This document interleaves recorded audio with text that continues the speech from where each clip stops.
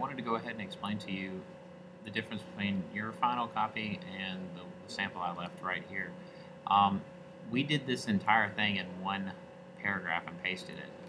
This was done in segments that were pasted. Um, so let's go ahead. I'm going to try to explain this as simply as I can. Uh, let's look at, I'm going to revert back to where you can restart. I'm going to do this correctly. Um, let's go ahead and create another layer here. I'm going to hit Shift and the F5 key. That's the key at the top of your keyboard. Filling it again to black, just like we did in the first tutorial. I'm going to move that to the bottom. This time I'm going to take this layer here and I'm going to drop the opacity so we can just make a like a light. We just want to be barely be able to see it. Okay. Now this one bulges downward. Ours bulged upward doesn't really, there's not really that much of a difference. This one has downward text, ours just went flat across the page. So I'm going to go ahead and just kind of create a quick little idea of how this is done. So I'm going to click here, and I'm going to hit Command V to paste the text that you had. You can go back and copy it, and I'm going to hit select all of it, Command A. I'm going to bring it down to Let's see, let's make this 180. And let's go to our window character panel, which is for y'all right here. And I'm going to click and drag this down to one right there. By the way, you can click and drag those. I don't know if you caught that in the last tutorial. Um, so here we are. Now we got this text here. It's on top of your graphic. We need to move it. So I'm going to move it just like so right there, maybe up a little. And I'm going to click uh, Control, click on it, and rasterize the type.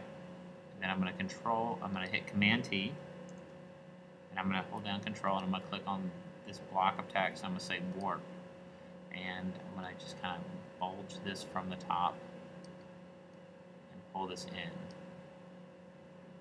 Now, you might just want to it just like that.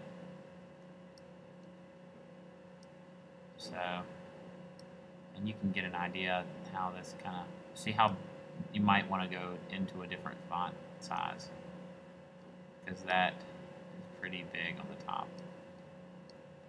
You can play around with this as much as you want. Anyway, so that's kind of how you would do it there. You're, keep in mind, this is just segments of it. So then you would have that, you would rasterize that. You may uh, want to go back, and if you want to go back and mess it again, just hit Command T, Control click on it, more, and you're back to where you can edit it some more. So you can pull it and mess it around. Um, I'm going to go ahead and, and, show you the downward text, how they had the text going downward. I'm just going to type in um, Halloween. Okay, hit Command A. I'm gonna make that type font just a little bit smaller. You, you can do that by clicking up here or your shortcut for that. I'm gonna hit Command T, rotate that just so slightly, like so. Hit return, and I'm gonna just keep on going, and I'd work all the way around this. Um, you know, you might want to get up here, and you're like, Well, my first paragraph, I don't really like the way it looks. Well, you can just grab your eraser tool. And if you don't like the way it looks, it's been rasterized, you can just kind of erase over that segment right there. And you can put a whole new line of text right there.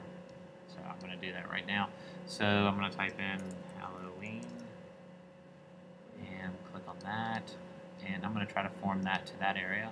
Hold down Control rasterize the type, hit Command T, down Control, warp it, and I can hopefully fit that word more into that shape. And all this is is just fitting words and text into a certain shape. We're bending the text. Okay? So in the so you should start working out like this. This is just a step, you know, to working towards it. And as you get done, this is kind of what you're trying to achieve okay? You can erase parts of the letters, you can do whatever you want. All right, signing off.